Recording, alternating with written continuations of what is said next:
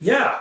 We love luteal cycles here. We, we've been doing it since the pandemic, um, early in the pandemic when we presented the Viotti article on uh, duostim in fertility and sterility with the journal. And, and it works really well. And we actually just had a patient who only made one embryo with her follicular cycle and then made us like four gorgeous embryos in her luteal.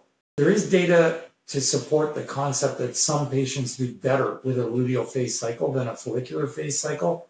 And I am totally a believer in that. And here at VRC, if you want to swap your follicular cycle for a luteal cycle, yeah, great. But if you want to do a duostim, unlike many other places, our duostim cycle is cheaper than doing two separate cycles. Some crazy reason, some of the programs in other places, um, notably relatively close to us in a large city in Canada, um, actually charge more than just doing two independent cycles, which makes absolutely no sense. Our duostim is about 30 something, 35, 37% less than doing two independent cycles.